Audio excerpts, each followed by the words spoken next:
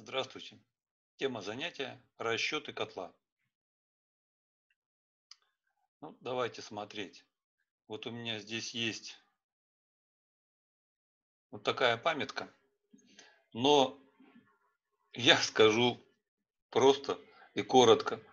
Всего существует три вида расчета котла. Тепловой расчет котла, аэродинамический расчет котла и гидравлический расчет котла. Тепловой расчет нужен для того, чтобы определить, какие, сколько и в какой последовательности должны быть поверхности нагрева в котле, как их, они, как их разместить и какие тепловые потоки через них должны передаваться. Сколько теплоносителя можно пропускать через каждую из этих поверхностей нагрева, которые мы размещаем вот в самом э, котле и во всех его пространствах. Это тепловой расчет котла. Следствием расчета является определение коэффициента полезного действия. При этом различают два вида тепловых расчетов – конструкторский и поверочный.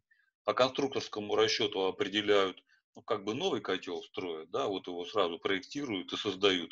А поверочный расчет предназначен для того, чтобы определить, как изменятся уже созданные поверхности нагрева э, в действующем котле, ну, например, в случае перехода на новое топливо. Аэродинамический расчет нужен исключительно для того, чтобы определить тягодутевые машины. То есть он нужен для того, чтобы выбрать вентиляторы дутьевые и выбрать дымососы. Ну а основное назначение гидравлического расчета котла или его вот ключевая цель – это определить работоспособность материалов, труб в тех условиях, каких э, они окажутся.